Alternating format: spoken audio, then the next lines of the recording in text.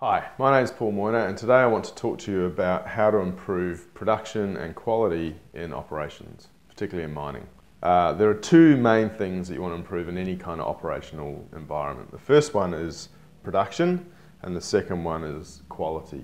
And normally when you come across an operation, uh, on one day they will run at this kind of production and quality, another day it'll be down here, there, and all these days, all these different scenarios uh, are just, just show that the place isn't under control. If you draw a line around that, you can call that an operating envelope. And the problem is, for most operations, uh, that this makes it really, really difficult for the planners to estimate how much they're going to get out any particular day. And the customer of this organization has no idea what quality they're going to get either. So it's really, really difficult for an operation to provide what it needs to its, to its uh, shareholders or to its customers uh, when it's working like this. So what David Upton said is that uh, to deal with this, the first thing you should do, the first thing you should do, because a lot of loss in this, is just to choose one of these places. It doesn't matter whether it's the fastest, the best quality, whatever. Just choose one and start to manage the operation effectively to that. So that means you've got to set procedures, you've got to have a plan, you've got to organize day-to-day work. And so if you do that, well then the average production goes up significantly and the average quality can go up significantly. And more importantly, the stability of, them, of the operation significantly improves. So there's a lot that goes into that and a tool like Fusion and the CommitWorks tools help to produce the, the underlying um, process and planning and system to make that possible. However, you can go off and get a MOS project, MOS done by some consultancy if you like, but the basics, this is about getting the basics right. Once you've got the basics right, well then you can actually start to think about whether you go off to increase quality, go off increase production by itself, or go off in some kind of average of the, uh, of the two.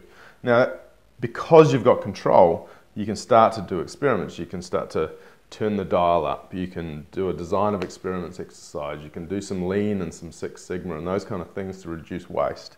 Once you've done that, you head off. But what's going to happen is you're going to, theory of constraint says, you're going to come across a constraint of some sort. There's always a constraint. So the question is, how do you break that constraint? So the first thing in, in um, Eli Goldratt's theory of constraints was to subjugate everything to the constraint. So similarly to here, where you've got to manage things effectively, if you're out here, you've also got to manage the process even more effectively to make sure the constraint is never starved.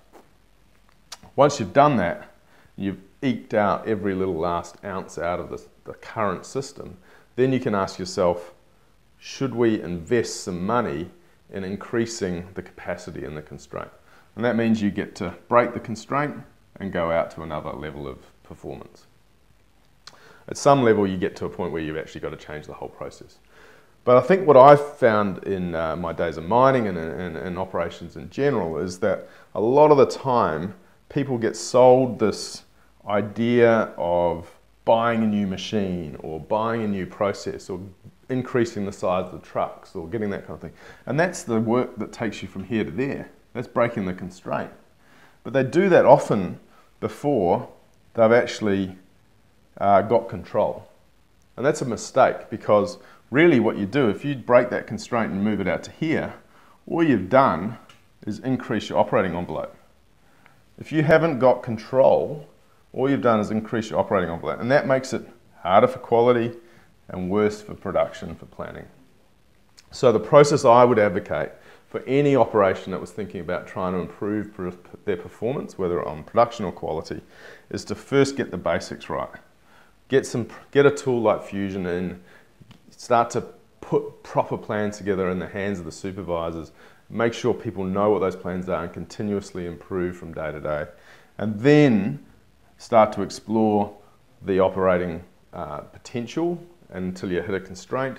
Manage everything around that constraint and then uh, move from there onto the next, next stages. If you do that, you'll be able to deliver significant improvements in production and quality without spending huge amounts of money on new capital equipment. Thanks.